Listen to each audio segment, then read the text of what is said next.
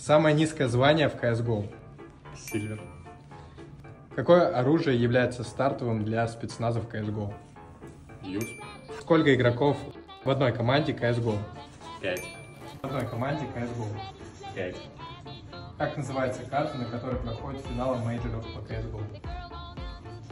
Да убери телефон. от-